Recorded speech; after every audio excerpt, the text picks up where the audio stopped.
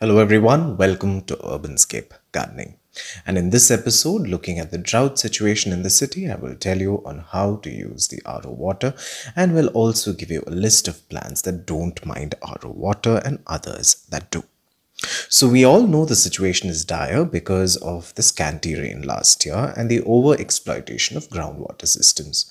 The shortage also has been exacerbated by the overuse of RO systems in the city that waste more water than they give. So the RO system comprises of an inlet from where water enters and moves through the membrane and filters under great pressure and it also has the outlet pipe from where the concentrate, which has all the minerals and contaminants that were filtered out in the process, is drained out usually.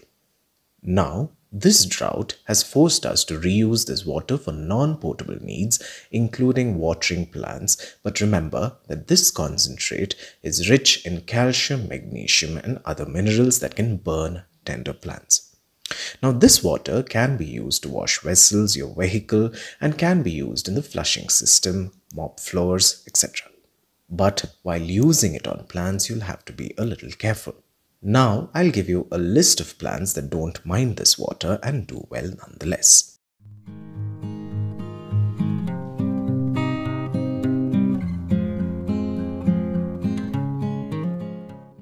A ballpark for this are plants that have fleshy leaves.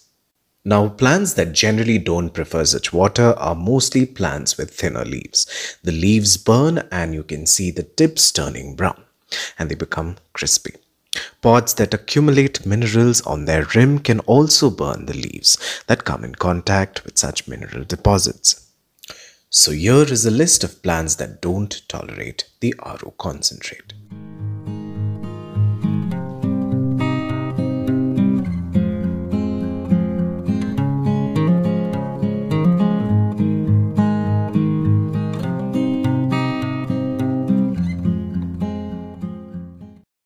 Also, this is my observation that as you keep feeding them with this water, they get used to it and somehow manage to do well after some time. This is just an observation and I'm not equating this to evidence-based fact. But now we don't have much option till the rains come and this situation eases. So continue using RO water for watering your plants as well. Or boil this water and collect the water vapor if you can and water your tender plants. Unless you buy a distiller, this can be a very tedious task. But if you are someone who can go that extra mile for your plants, go for it.